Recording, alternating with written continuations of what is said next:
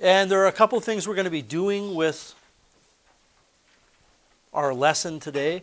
One is we're going to be working with a formula very similar to the formula for the period of oscillation of a mass on a spring. We will have a formula for the period of oscillation of a pendulum. And then we're also going to be determining the restoring force of a pendulum.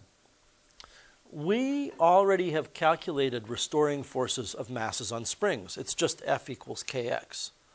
And because a spring mass system oscillates back and forth in a line, there are really no vectors involved. I mean, I suppose, you know, if, if my chin is the equilibrium position, there are vectors involved in that displacements over here are negative and displacements over here are positive. With a mass on a spring, if the spring is to the left of the equilibrium position, then the force is positive because it's acting to the right. If the mass is to the right of the equilibrium position, then the force on it is to the left. There is some vector component to what's going on here, but it's linear. You, you either have positive forces or negative forces. Because a pendulum moves in a circular arc, the restoring force is not as simple. To begin with, here's the formula. It really is quite similar in structure to the period of a mass on a spring. Its period equals 2 pi times L over G under the square root, whereas for the mass oscillating on a spring, it's m over k under the square root. But there's an issue here with this formula, and I, I don't think we need to get into it. I, if, if you're curious about it, we can have a private conversation or, or we can talk about it near the end of today's class. But this formula has limitations to it. And it isn't that 15 degrees is etched in stone in the universe somewhere, that as soon as you hit 15 degrees, the formula breaks down. The formula is not really valid at all. Okay, I'll, I'll give you a brief explanation of why. The formula is not really valid at all, but for small enough angles, it works. And the reason has to do with the difference between sine of an angle and tangent of an angle. Okay? And that sine of an angle and tangent of an angle for small angles are pretty darn close. And I see some of you grabbing your calculator right away to check that out. Make sure your calculator is in degrees unless you want to work in radians, which I don't think any of you know about yet. So, I mean, if I take sine of 2 degrees, it's this number. If I take tangent of 2 degrees, it's this number. They're very, very close. They are not equal. Okay? Now, it turns out, and I have to think about this, it turns out that the correct formula would make use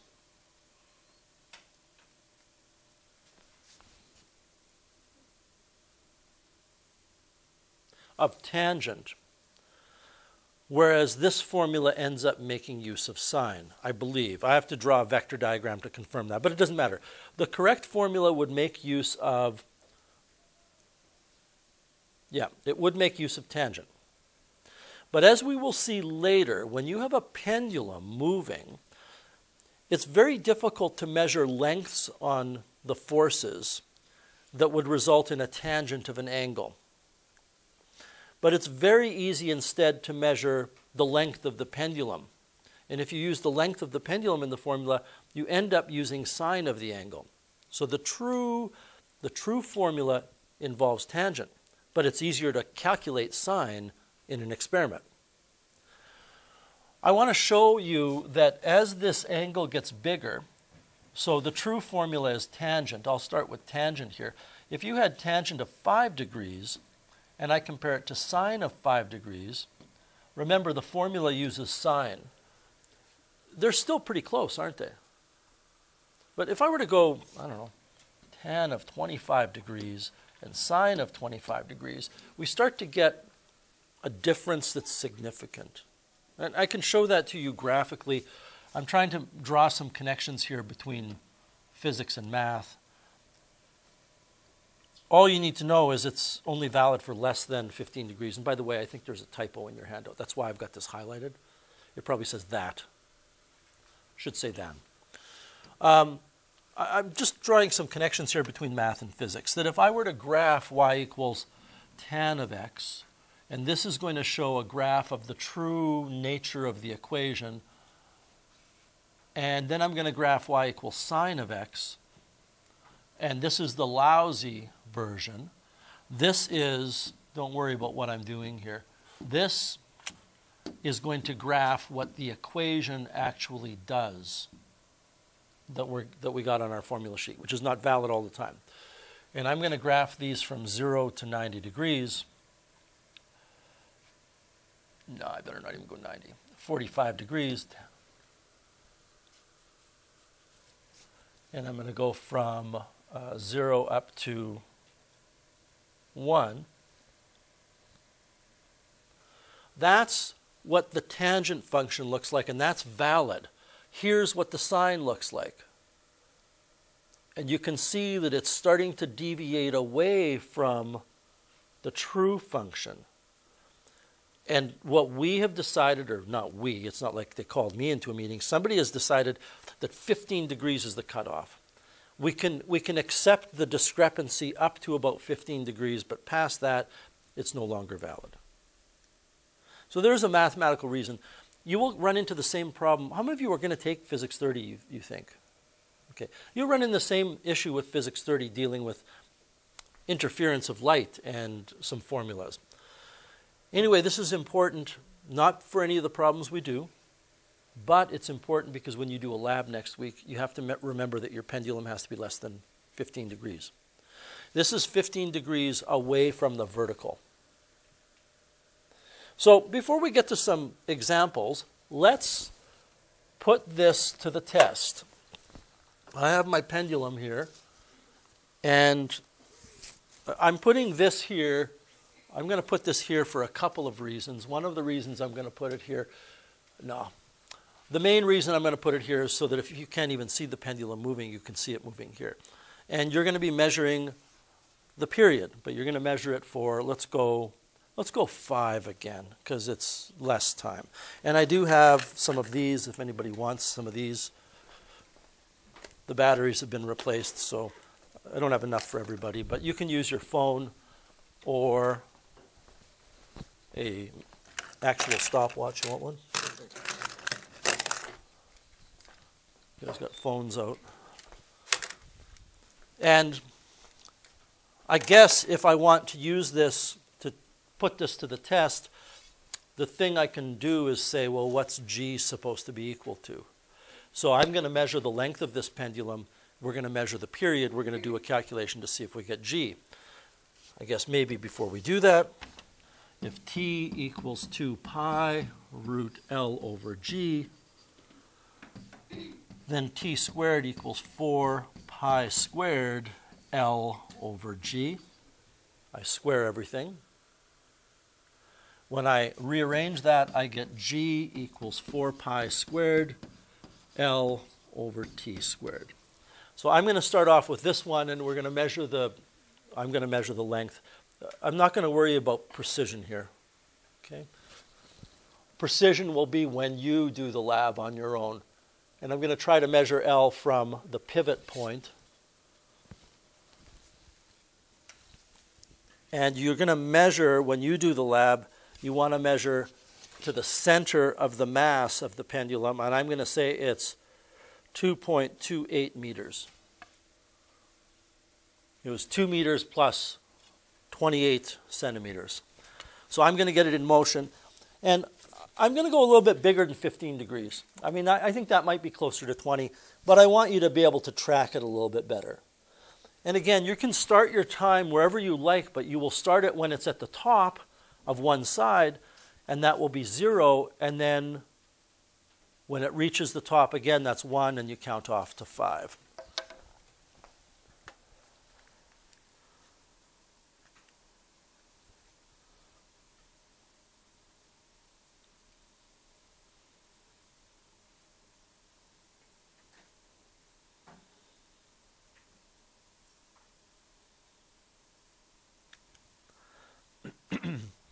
With this long of a pendulum, which you will not have a long pendulum like this, Okay, the period is quite long. So there's less error here. I got 15.1 seconds for five complete back and forths. What'd you get, Owen? 15.2. 15.2, I got 15.40. 15.1. About 15.28. Let's go with 15.2. It doesn't really matter. Um, we're off by a tenth of a second or two tenths of a second for five oscillations, so it's not going to matter. I'm going to go with 15.2. I need to divide that by five and and get 3.04 seconds, I believe. That's right. So I'm going to throw this in here into this formula.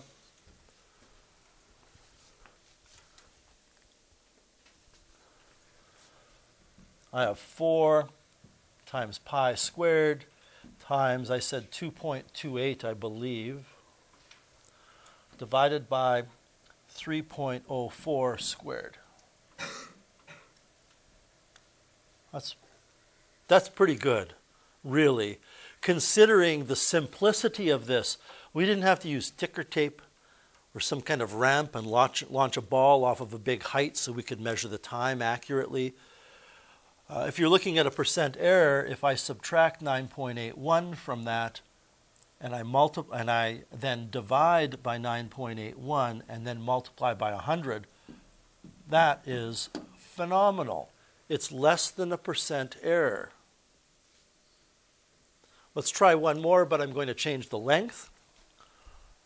And this will require a little bit more ingenuity on my part to be able to measure the length.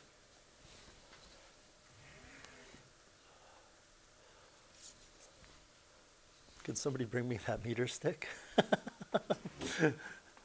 Thank you, Christina. I probably have another one somewhere. I appreciate that. So,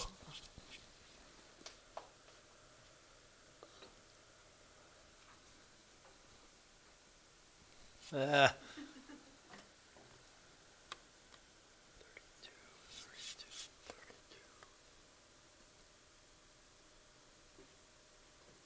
I'm going to go 1.62. I, I would like to crouch down and, and read that a little more accurately, but I don't want to change the length, right?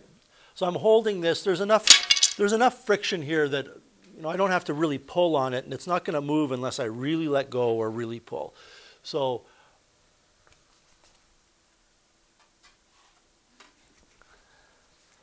reset my stopwatch. And again, I'm going a little bit more than 15 degrees. We'll talk more about that in a second.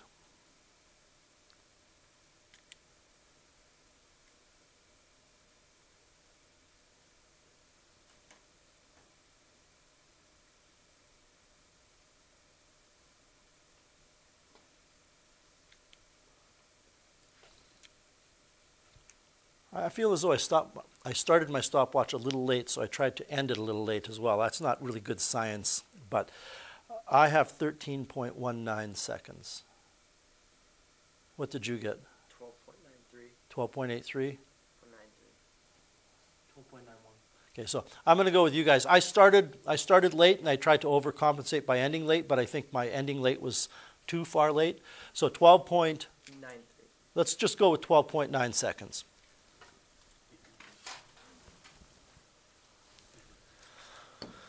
So we do have to divide that by 5. And I've long since forgotten what I said, 1.62. 62. And and that's, take that measurement with a grain of salt, because I was, you know, in an awkward position physically to measure that. So 4 pi squared times 1.62 divided by 2.58 squared. Still pretty good. I I have a feeling that the length I gave you was maybe a little too short because I was looking at the ruler from an angle and I couldn't see where the center of the ball was. But anyway, I- I'm not going to make excuses here. That's really good. It's 2% error. And by the way, it's, each of these were negative, so the percent error, error here is negative 2%. Final comment before we try some questions on our own with a calculator. Do you see, forgetting about why this is the case or which one is right, do you see that they only really start to move away from each other past about here? Like it's visually apparent there. Well, I've scaled this to 90 degrees. So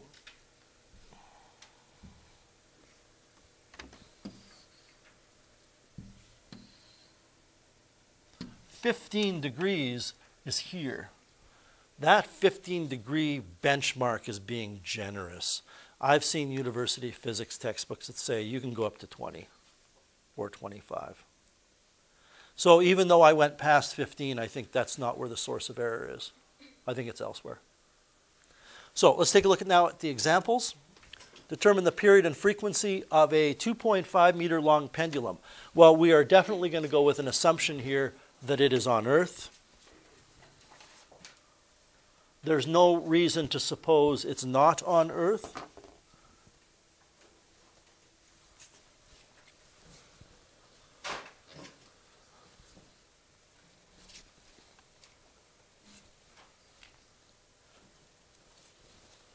Let me fix this.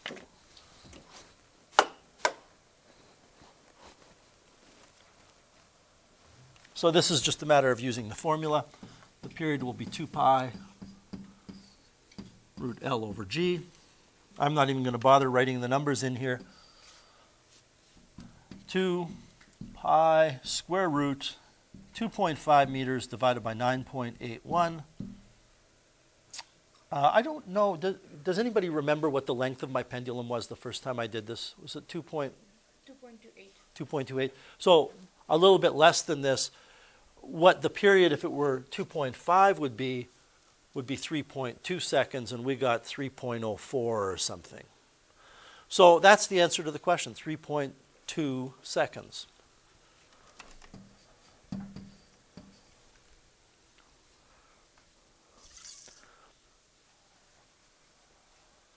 Number two, pendulum on Earth has a period of three seconds. How long is it?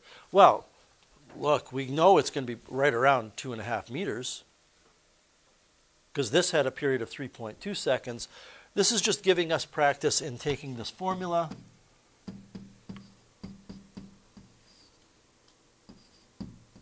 squaring both sides to get t squared equals 4 pi squared L over G. We want the length, so I have to multiply the t squared by g and divide by 4 pi squared. And this will be the length. And, and again, we've come a long way. I, if it's a written response problem or an assignment or a quiz or something, you want to show your work. But the physics is done. Now it's just a matter of using your calculator, right? So I don't care if we write down the numbers especially when we're in learning mode and I'm in teaching mode. So 3 squared uh, times 9.81 divided by, of course, don't, don't go divided by 4 pi squared. Go divided by, in brackets, 4 pi squared. Or divide it by 4 and also divide it by pi squared. So I get 2.2 meters.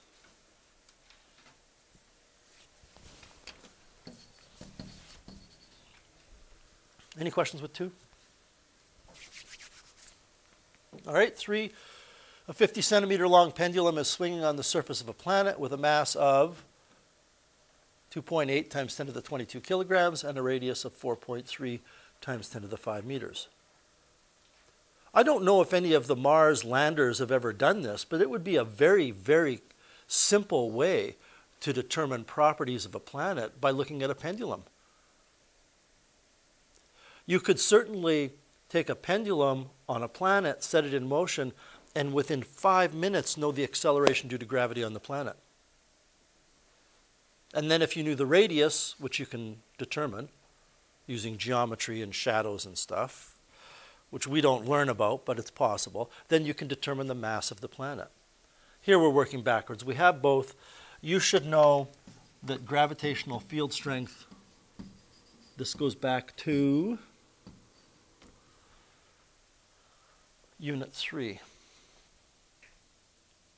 circular motion and gravitation. No, Unit 2 dynamics and gravitation. We learned how to calculate gravitational forces between masses, and then we learned about gravitational field strength. So we need to calculate the gravitational field strength first on this planet. We're going to take Newton's universal law of gravitation, multiply by the mass of the planet, divide by the radius of the planet squared,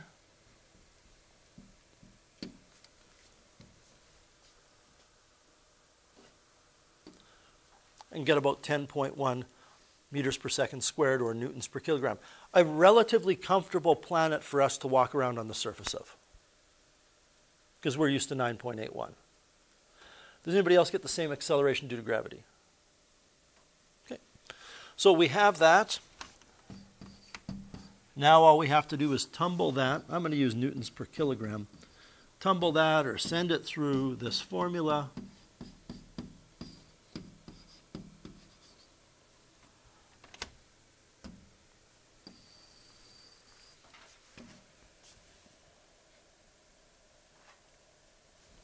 So 2 pi, whoops, pi root L is 0.5 meters. It's 50 centimeters, but we have to use standard units, divided by our acceleration due to gravity. About 1.4 seconds.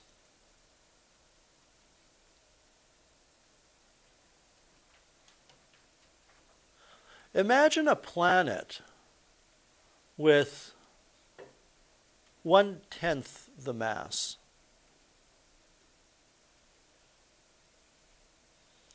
So you don't have to change anything in your notes. We're done with this example. But imagine that this was, oh, let's go 10 to the 20. Imagine that was the mass of the planet. What would the period of the pendulum be? Because we can visualize 1.3 seconds. I mean, that I got a pretty good handle on that. Well, the acceleration due to gravity on that planet would be found in the same way we just did. Is that my phone?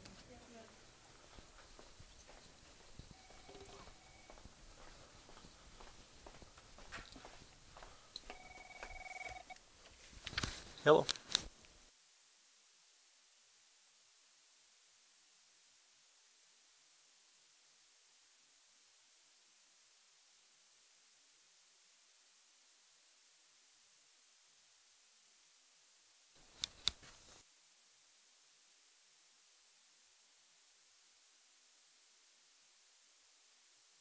Okay, so um, this is what I would get, which would be very unsafe for us to walk around on this planet, especially if you had a skip in your step. Because you'd push yourself away from the planet and you'd start going away from the planet. It would take a very long time for you to come down. You could just hop from here to Miss McFeely's classroom, probably. Uh, but when you come down, you have inertia, so you can really hurt yourself right? Even though you may not be moving that fast, you do have inertia. What would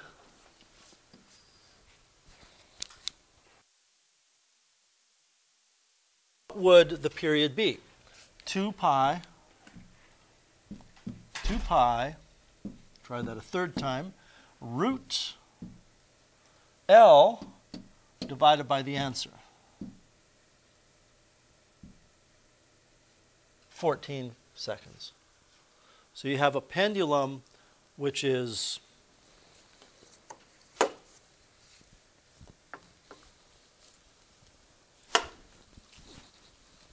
this long.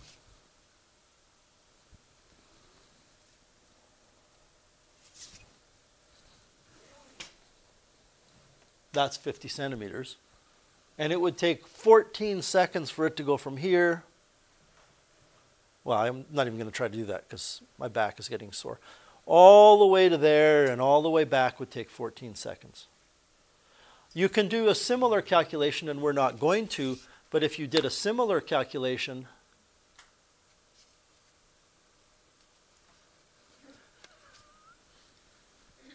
there we go, and maybe multiply the mass of the planet by 100 and use the mass of the planet as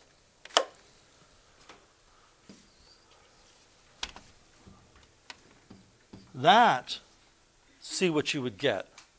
The period would be very tiny. I don't know what it would be. Definitely less than a second, maybe less than a hundredth of a second. You can do that calculation on your own. Any questions with number three? All right, we have one more little detail we need to talk about, which is the restoring force of a pendulum. The equilibrium position of a pendulum, geez, after all that, I'm going to put it back. The equilibrium position of a pendulum, of this pendulum, is essentially where it is right now. Right? And the, the fact of the matter is, the reason why it does what it does is because at every point in its motion, at every point in its path or position, there is a force pulling it towards the equilibrium position. But you need to understand that this is a circular arc. So it isn't that it isn't that you have the pendulum at, let's say, that's a circular arc. It isn't that you have a pendulum here and the force is directed directly to there. It's not. The force is directed along the path. So the equilibrium position is arrived at by forcing the pendulum when it's here in this direction, and when the pendulum is here in this direction, and when the pendulum is here in that direction. Now, do you, do you notice that I drew these forces different lengths? Well, it's the same kind of thing as with a spring. The further away from the equilibrium position you are, the more force is being applied. So, we have a question here. What causes the restoring force?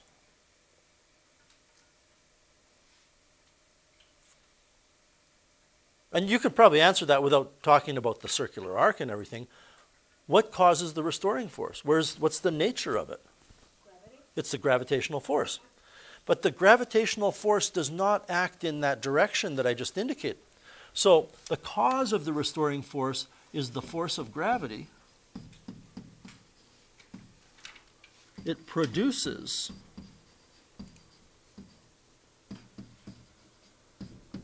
the restoring force.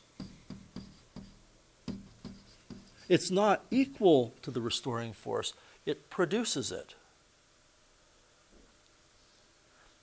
And I, touched on this earlier when we're talking about the restoring force for a mass on a spring. The force on the mass by the spring causes the restoring force, and it is the restoring force, because that's the only force. The problem here is and we're going to draw this because you're going to need to know this diagram for later. The problem here is it's moving in a, in a curve. And when the pendulum, you can freehand this, just draw a gentle curve that you feel is circular in nature. And then you're going to draw your pendulum, Bob. We always name the pendulum Bob. There. We don't need the string but if you wanted to draw the string, this, well, I'm not going to draw the string because the center of this circular arc would probably be close to the top of my screen. So I would have to draw a line from the bob way up there, and I'm not going to do that. There is only one force acting on the pendulum bob. It is the force of gravity. Well, there's a tension force as well, I suppose, right? But we don't want to get into that. So this is the force due to gravity. Now, hmm, how can I do this? If we had, and you don't need to draw this, I'm just going to go back in time and talk about an object on a ramp. When you have an object on a ramp, and you start to talk about the force of gravity, which is down,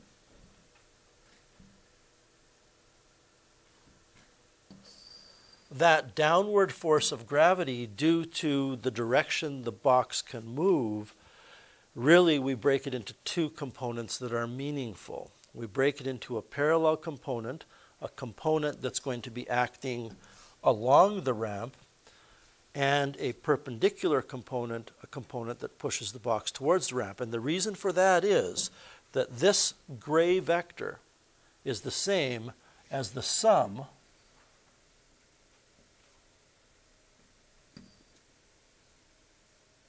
of these two vectors, right? And then what we typically do is we draw this over here, but I don't want to do that. Okay, I just want to leave it like this. So gravity has a parallel component, which is down here.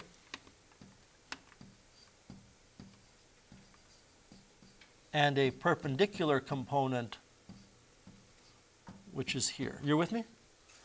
Well, I hope you see that that's exactly what we have here, except the ramp is changing direction all the time.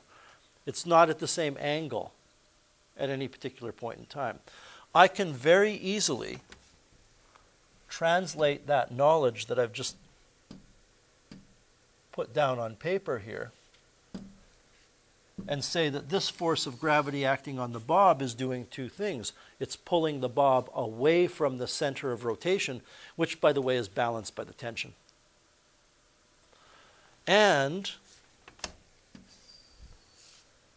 it is moving the bob in the direction of motion. Now, that direction is going to change as soon as the bob is moving to a different place. Whatever this angle is, I guess I'm going to have to draw in the string. Whatever that angle is,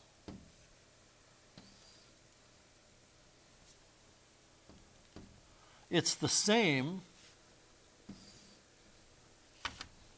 as the angle the pendulum makes with the vertical. I drew it that way because, as I said, I think the center of curvature of this circle is way close to the top of the screen.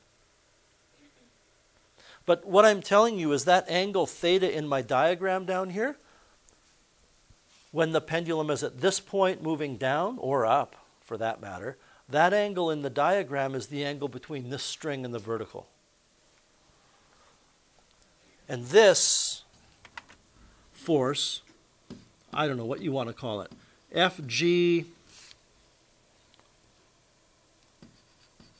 away from the center. I, it's what you call this is not relevant.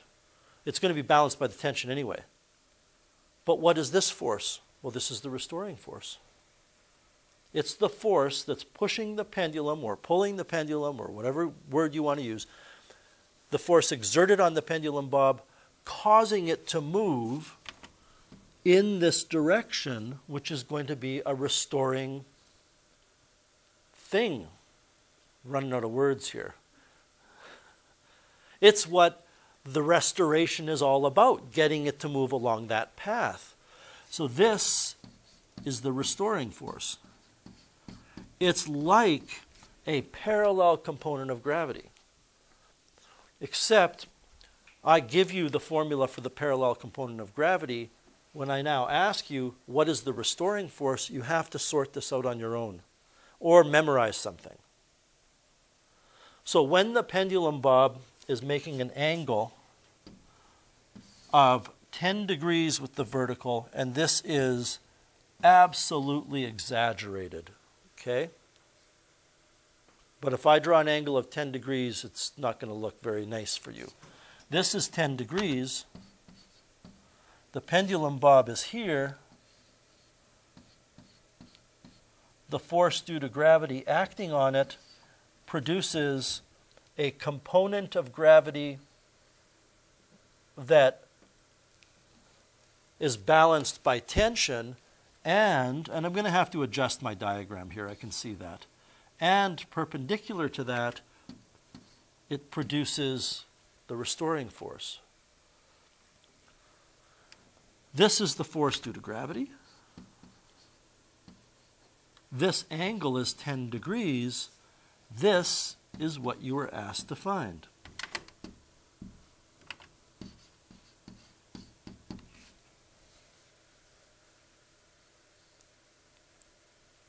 So I don't know. If you want to memorize this formula for a pendulum,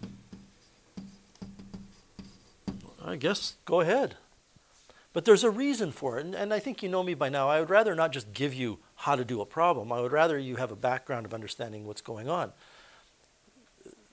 Because I think it's important. Fundamentally, it's important for science students. And just as important as that, when you go to post secondary, nobody's going to explain why things are working the way they are. You know, I, I, actually had an email from a physics 30 student from last year, a few days ago, asking me a question, and he showed me what the prof's notes looked like, and it, there's no explanation of what's going on, so the student is lost. But once it was explained to the student, well, this is what's going on, the student went, oh, okay, I get it. Post-secondary is a different beast for those of you going on to engineering and science. They don't really explain things too well at times. Not all of them. Some of them do a great job, but they're not teachers. That's not their primary job. Anyway, it's a pretty easy thing to do. What was the mass of the pendulum bob here, Christina? 250 grams. 250 grams. So this will be 0.0, no, 0.250 kilograms times g. We all know what g is, right? And I guess then we can multiply by the sine of 10 degrees to get the opposite side. Because sine of 10 degrees is equal to opposite, which is the restoring force over the hypotenuse, which is mg. And just like that, we're done.